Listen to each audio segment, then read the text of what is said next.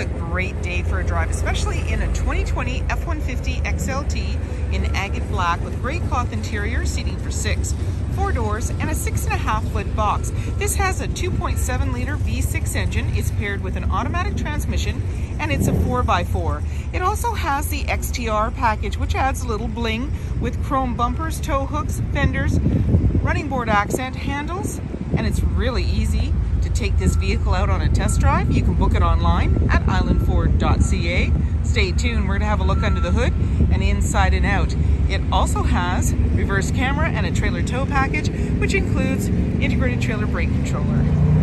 2.7 liter V6 engine paired with an automatic transmission and it's a 4x4. Let's have a look inside. in the door, as well as power locks, windows, and mirrors. The driver's seat, as well as the passenger seat, are manually adjusted with manual lumbar.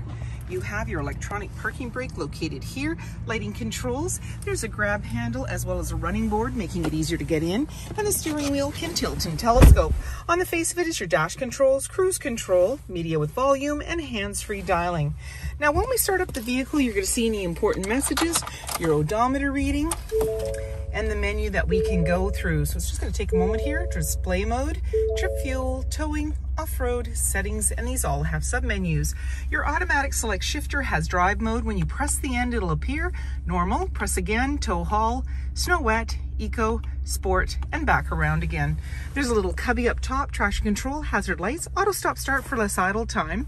And we can go into the audio, turn that right down, sources, AM, FM, Sirius satellite radio, as well as Bluetooth. We can go into our settings and slide through for different options. There's your Bluetooth again, mobile apps, updates, Ford Pass Connect, Apple CarPlay, and you just press on there and there's sub menus as well.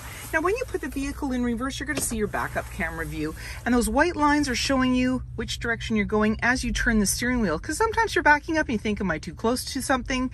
And then this will show you as you keep turning the steering wheel, those white lines will show you exactly where you're gonna land.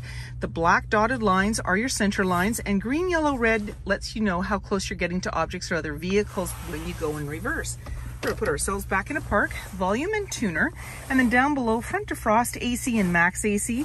Off to the side, 4x4 with locking differential. You also have your Pro Trailer backup and integrated trailer brake controller, a couple of USB outlets, plus the 12 volt, a little bin down there.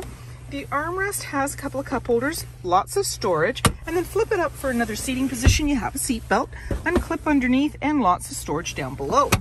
Then you have your 12 volt locking glove compartment, manually dimming rear view mirror, lighting controls, sunglass holder, and grab handle in the body, just making it easier to get in. Wheels, black and chrome running board, Chrome door handle, keyless entry keypad, driver's side, capless, easy fuel gas filler. Wheels, chrome and magnetic running board, chrome door handle, keyless entry keypad, driver's side, capless, easy fuel gas filler.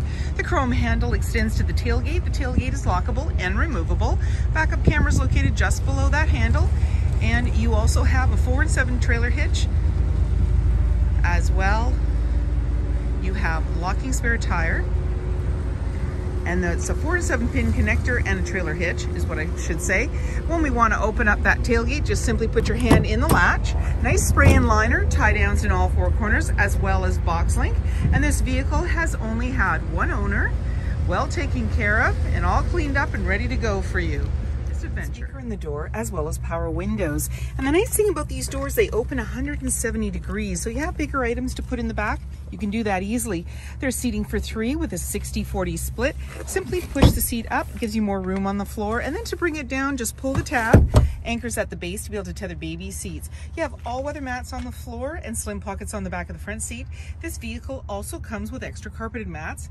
You have a couple of cup holders, a 12 volt, and off on the side there are two USB outlets.